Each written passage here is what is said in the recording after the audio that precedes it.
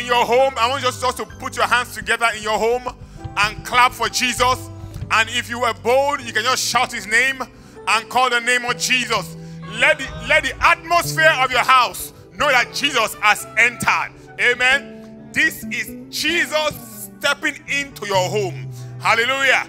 I want you to know that the same atmosphere of his presence that is here is being is going through the airwave, it's going through the sound, it's going to your phone, it's going to your iPad, it's going to your screen, and Jesus is entering your house in the name of Jesus.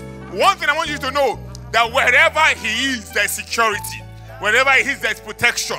So, as He always says, He says, Fear not, Amen, for I will be with you. God is with you. Glory to be to your holy name. Let's clap for Jesus one more time. Thank you, choir for that wonderful time of worship in Jesus' name. Hallelujah. Our God reigns. Our God reigns. Hallelujah. Philippians chapter 2, verse 10. Philippians chapter 2, verse 10. Bible says that at the name of Jesus, that at the name of Jesus, every knee shall bow, every knee shall bow of things in heaven and things in the earth and the things under the earth. In some translation, it says, at the, at the mention of the name of Jesus, every knee obeys. They are in obedience. Amen. When it says every knee bows, it means that whatever it is, it, it submits to the name of Jesus sickness submits to the name of Jesus. Whatever they are being called, whatever disease, whatever plague, they, they, they obey Jesus. Death obeys him. That's what it means that at the mention of the name of Jesus, wherever they are in the heavens, they obey Jesus. On the earth, they obey Jesus. Beneath the ground, they obey Jesus. What a wonderful name. What a wonderful name. Just say that sickness obeys the name of Jesus. That's one thing you need to know. Jesus is the answer. Hallelujah. When men have tried all they know to do, when plague is resisting and things are saying no, when Jesus speaks, they obey. That's why the centurion man told Jesus, said, You don't need to come to my house, just speak a word. He said, I'm a man of authority.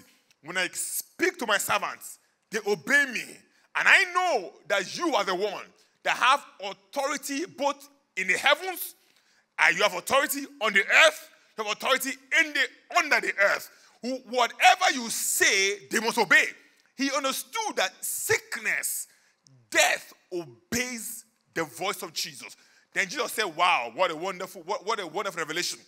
And he spoke, and the servant was healed instantly. Which means Jesus didn't go there just by spoken word.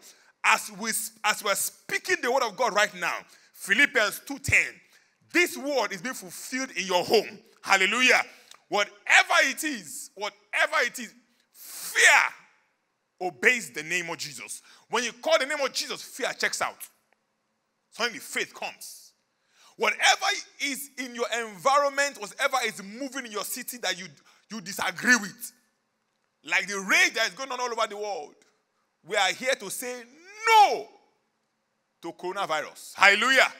As many that believe that at the name, mention of the name of Jesus, every knee, if that disease or that plague is among every knee, he must bow. Hallelujah. He must what? He must bow. Let's go to Acts 27 from 22. Acts 27 from 22. Acts 27 from 22. Acts 27, 22. And now I exhort you to be of good cheer, for there shall be no loss of any man's life among you. It's a complete declaration. This is a man, at this point in time, there was storm everywhere. The ship was, was going through turbulence, and everyone was afraid. Oh, they were going to die. Death had come. And he told them with assurance, he said, Be calm. As I speak to someone today, I speak to the nations of the world.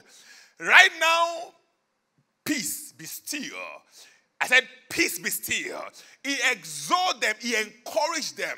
He told them, Yes, I'm aware that things are happening, but be encouraged.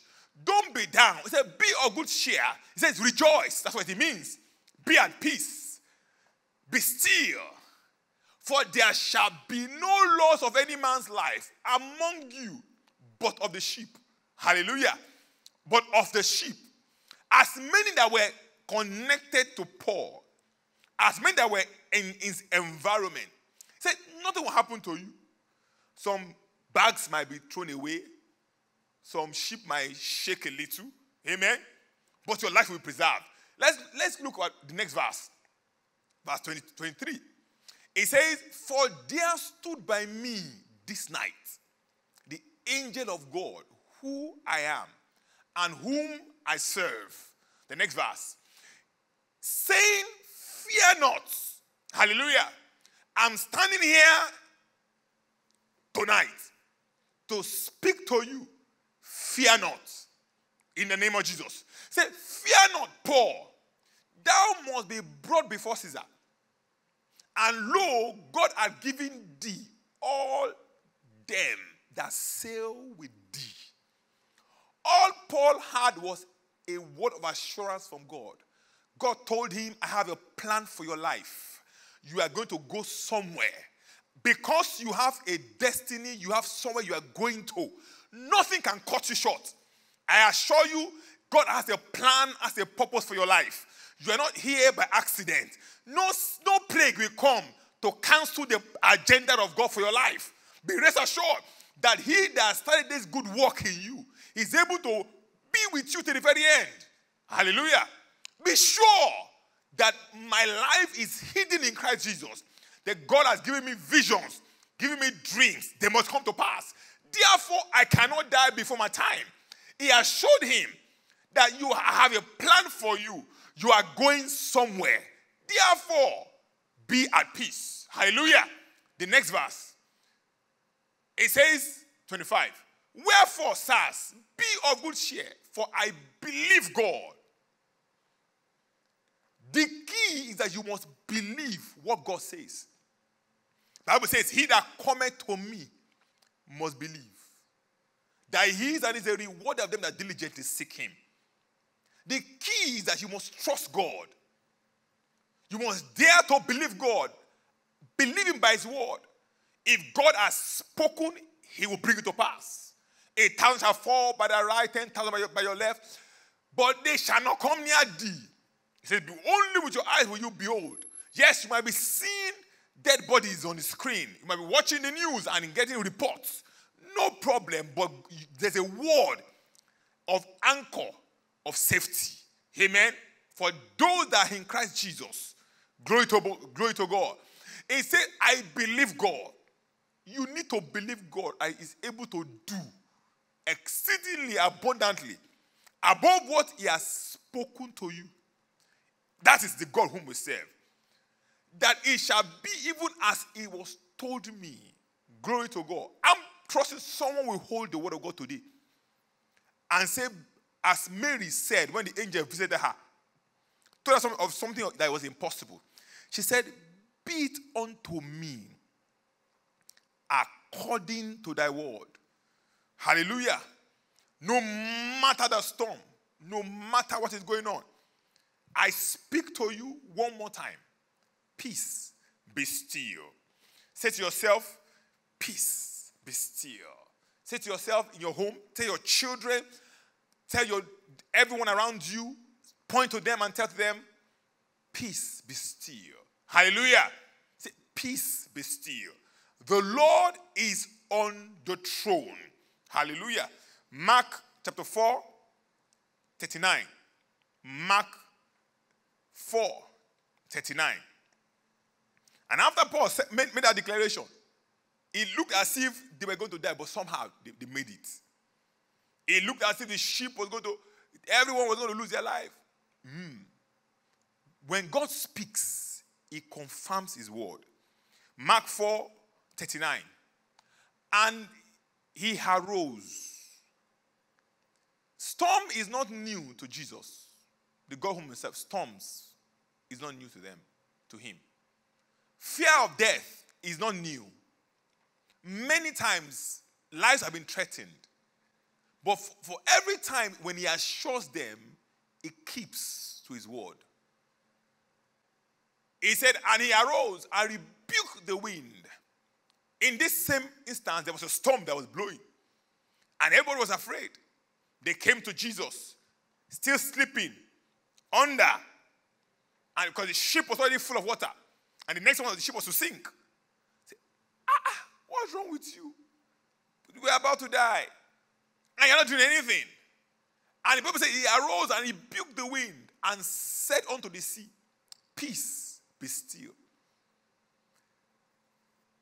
At the name of Jesus, every storm that is blowing around in your neighborhood, blowing in your city, blowing in your nation, I speak to them, peace be still.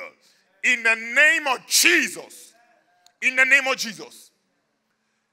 And the wind ceased. Hallelujah. The wind obeyed. And there was great calm. I decree very soon, very soon, all this noise will be calm. I said it will be calm. And I speak to COVID 19. Hallelujah. Or they call you coronavirus. Peace be still. In the name of Jesus. Let your activities come to an end. In the name of Jesus. Let someone shout a big hallelujah. The next verse it says, And he said unto them, Why are ye so fearful? How is it that, that, that ye have no? Next verse. And they feared exceedingly and said one to another, What manner of man is this? When we talk about Jesus at times like this, we're not talking of, we're not talking of an ordinary person. We're talking of the one that came into the world as light in the beginning, and darkness moved back. See, the light shineth in darkness, and darkness could not comprehend it. When God comes in, darkness must go. That I assure you. They say, What manner of man is this? That even the wind, the storms, the sea, the sickness obey him. Death obeys him. Affliction obeys him. Many people are afraid oh, lockdown, what will they eat? How will they survive? God is the answer. He will turn everything around and will, it will be like a dream. Glory to God. The same way they've been announcing, oh, death is going on, suddenly you, you hear, death has stopped. Hallelujah. As they're announcing that ah, they're closing borders, closing cities, very soon you will hear the cities are reopening. Hallelujah. The same street that they were showing that it was desolate and been a desert. Very soon, I assure you, they will show back those cities and life will be back. Hallelujah. Because our God is called the resurrection and the life.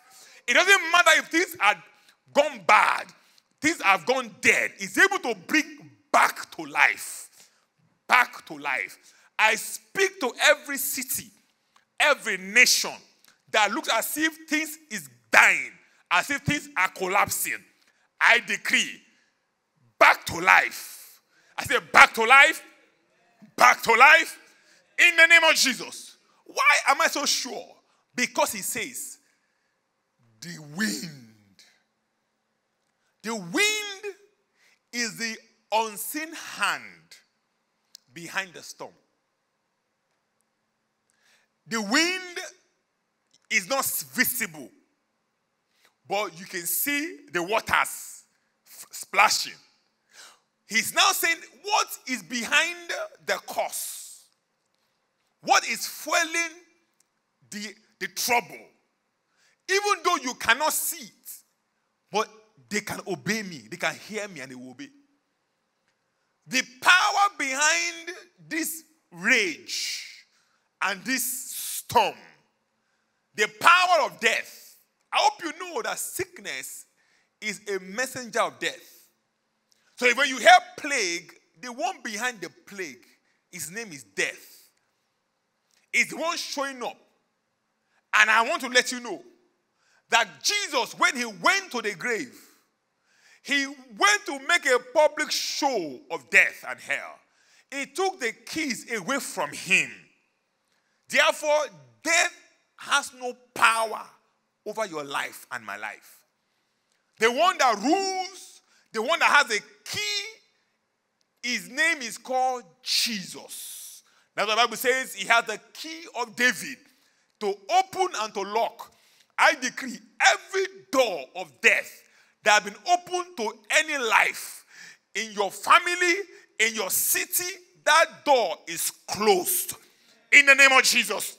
I hope you know some people right now, they're afraid because they've tested them positive and they're saying very soon they will die. But I'm here to announce in the name of Jesus, those that have been tested positive will begin to be tested negative. Amen. As many have been appointed, some they've said, go and be in your house. No medication, just be there. Very soon, they will rise up from their, from their room. Their lungs will be clear. Amen. Those that could not walk will begin to walk. Then they will come and they will test them again, and they will not be positive because there's a balm in Gilead. There's a healer in the land. Now is a time for Christians to boast. Amen to boast in the God whom they serve. When the medical system has failed, hospitals can tell you, please, you are sick, yes, about die, but you can't enter. They can tell you, oh, please go back. But I have a healer that never turns anyone back. I have a healer. His, his hand is big enough to take everyone that comes to him.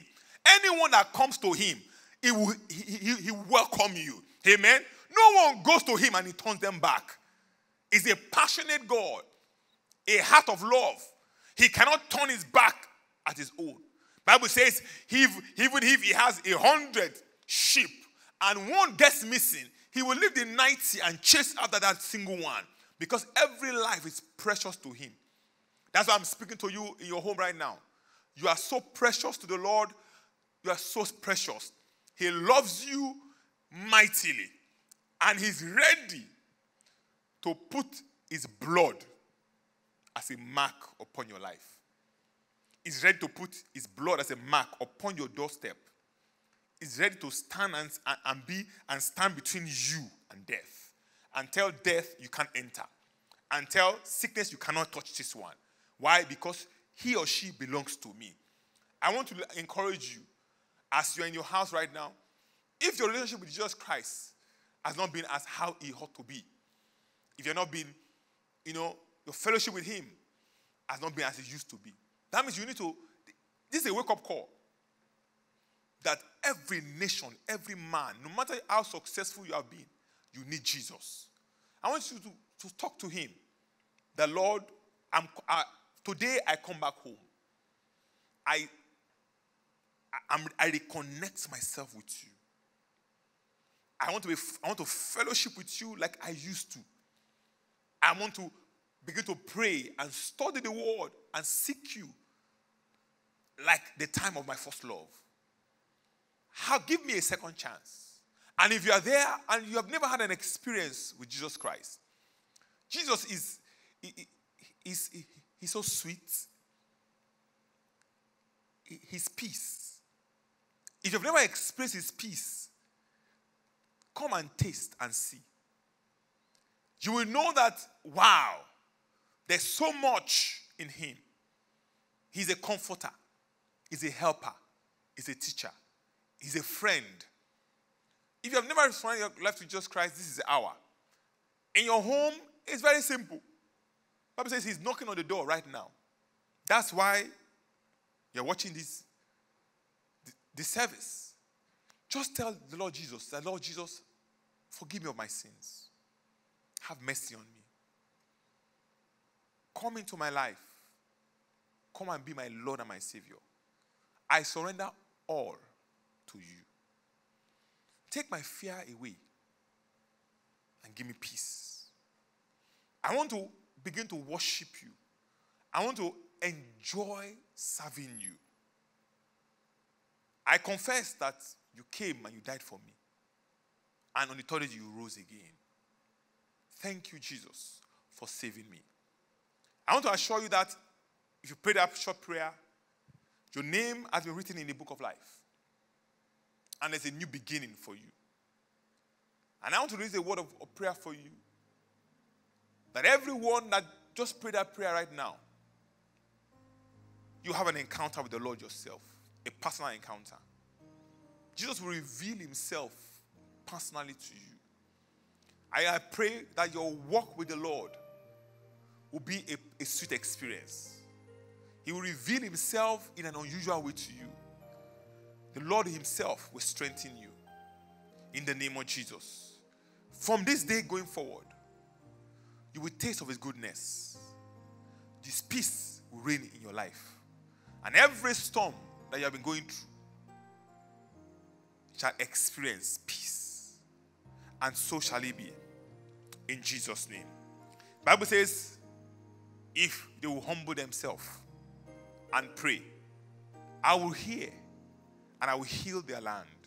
I want you to pray this prayer I will say, Father, say, Father, arise in your power, arise in your glory, and calm every raging storm of coronavirus in Nigeria, in America, in Italy, in Spain, in Asia, in China, every nation, every city where this plague is raging. Father, appear in your power and silence it in the name of Jesus. You are the great healer. You are the great healer. Malakibo Shaka.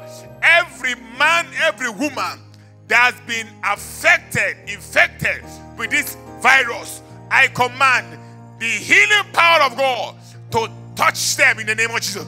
Everyone in the hospitals that they have given up hope, that they have left them, that they have said they have not found a cure. Oh Lord, your blood, your blood, your blood is enough. The blood of Jesus is enough. Let the blood of Jesus speak upon their lives. Speak upon our lives. In the name of Jesus. Father, put an end to this storm. Put an end to this raging storm. Silence this demon. Silence this spirit of death. Silence the power of grave that is hovering upon the land. In the name of Jesus. In the name of Jesus.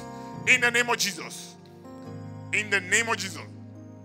There are, there are announcements on a daily basis that more people are being affected. I want us to cover every one of us in the blood of Jesus.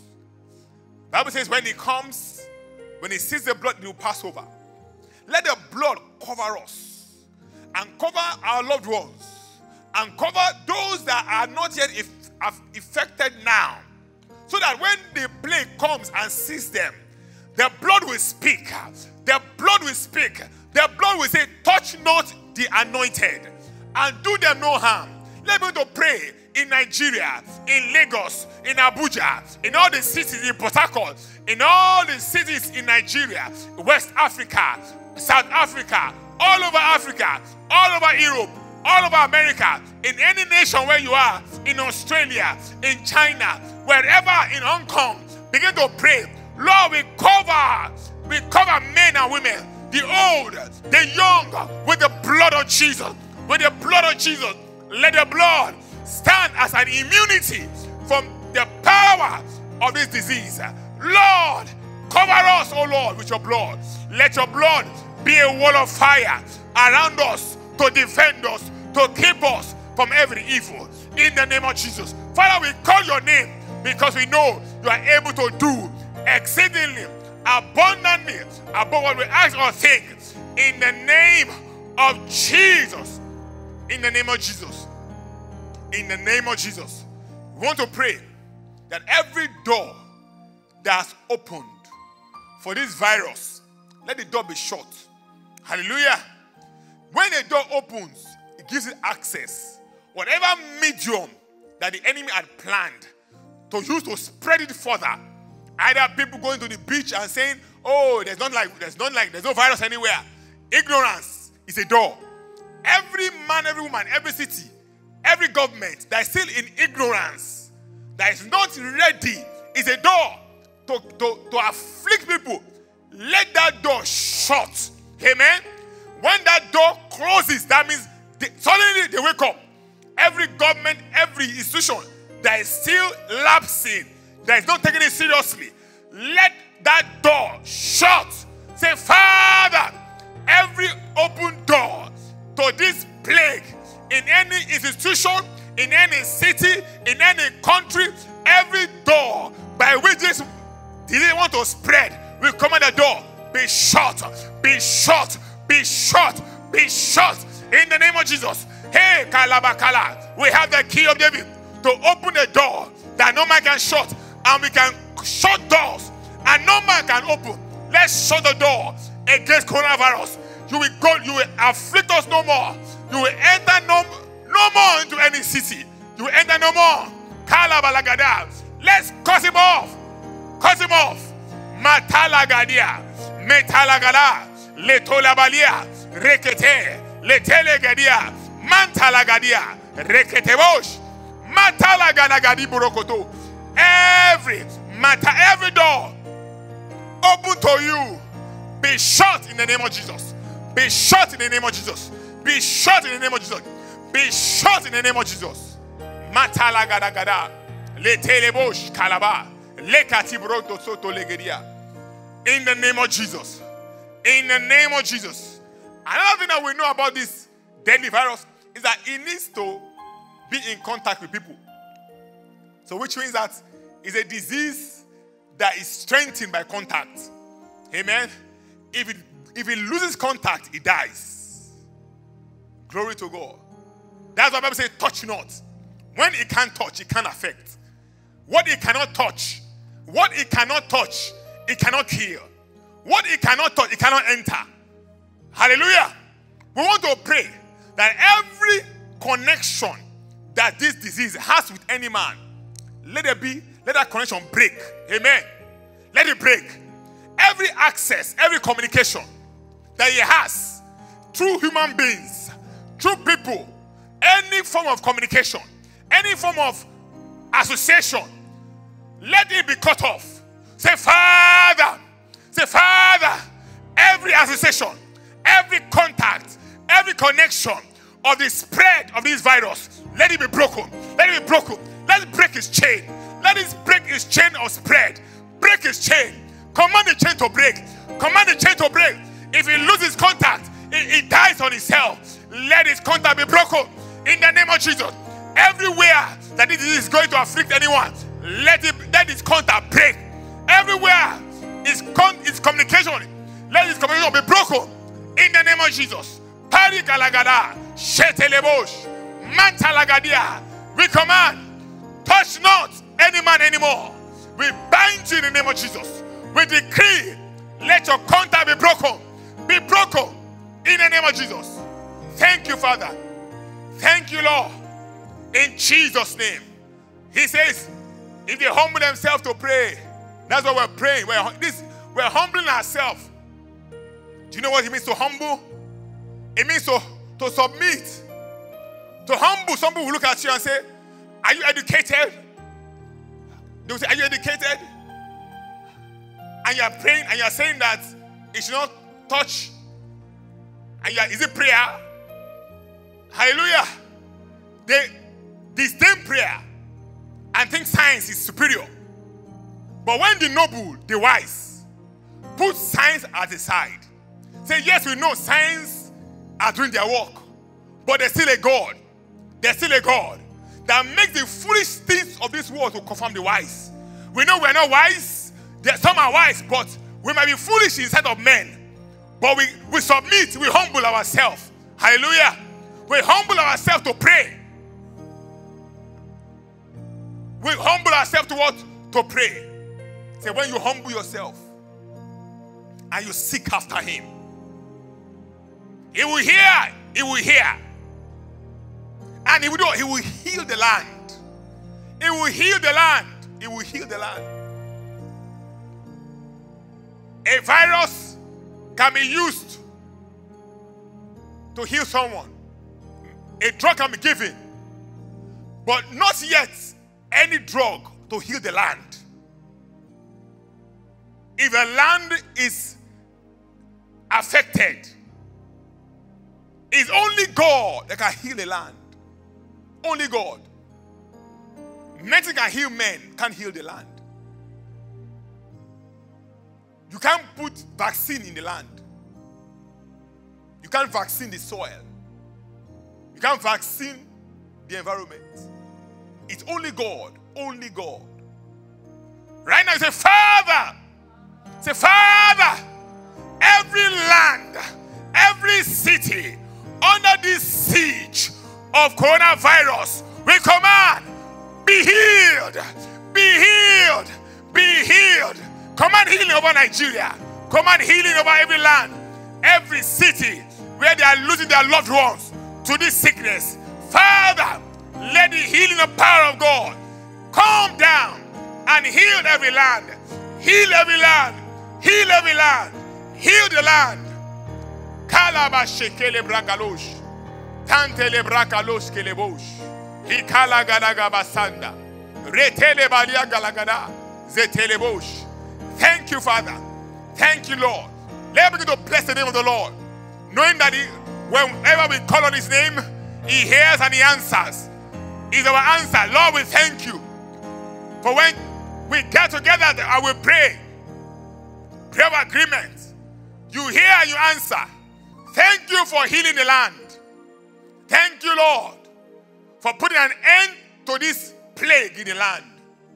Thank you for closing the door against the spread.